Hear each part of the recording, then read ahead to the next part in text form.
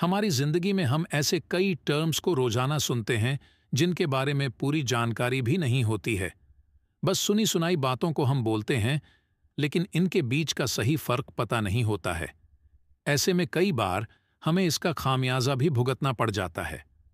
चलिए, आपको आज पहनावे से जुड़े ऐसे ही दो टर्म्स के बीच का फ़र्क समझाते हैं।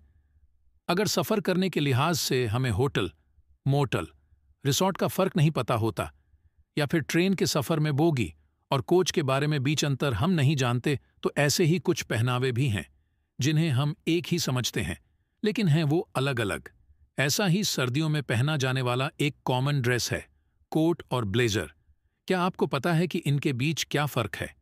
अगर नहीं जानते हैं तो जान लीजिए, ताकि आपको कहीं शर्मिंदा ना होना पड़े।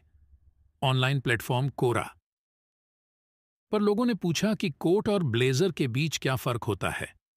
सवाल के जवाब में कई यूज़र्स ने इसका फ़र्क समझाने की कोशिश की। इसमें जो पॉइंट्स सामने आए, उससे ये पता चला कि कोट और ब्लेजर के बीच बेसिक अंतर ये है कि कोट एक सूट का हिस्सा होता है, जिसमें पैंट भी शामिल होता है। वहीं ब्लेजर अलग से खरीदा जाता है और इसे किसी भी जीन्स या पैंट के साथ मैच किया जा सकता है। इसे औपचारिक और अनौपचारिक, दोनों जगहों पर पहना जा सकता है। कोट सूट के साथ पहना जाता है और इसे ज़्यादा औपचारिक पहनावा माना जाता है। कोट आमतौर पर गहरे रंग के ही होते हैं, जबकि ब्लेजर का रंग हल्का भी हो सकता है।